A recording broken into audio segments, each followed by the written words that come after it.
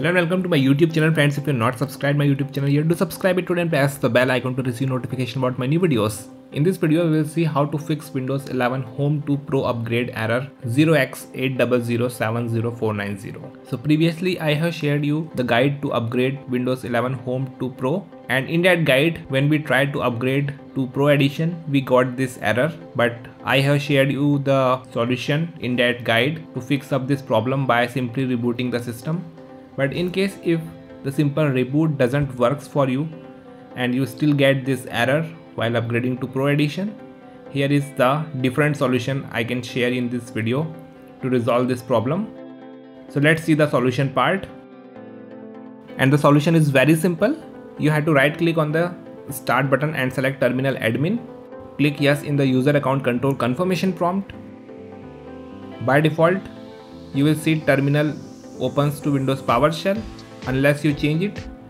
And in the PowerShell window you have to paste or type sfc space slash scan now command. This command may take a while to complete scanning your system. So after a while we can see that the verification has been 100% completed and Windows Resource Protection did not find any integrity violations. In case if there are any violations on your system, the scan can fix it. Next, we will try this command.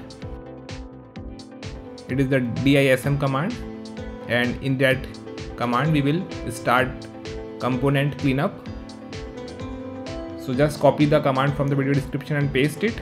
This command will again take time to reach to 100% so few moments later you can see that this command has been also completed to 100% the operation completed successfully. And lastly we have to use the DISM restore health command. So again you can copy this command from the video description and paste it and press the enter key and this command will also take some time to execute to 100% so make sure you let it complete to 100%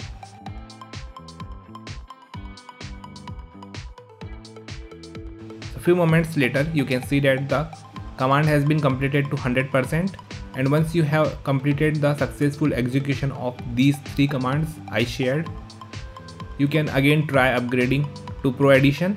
And this time the upgrade should work without any error. So that's it for now in this video. Thanks for watching it.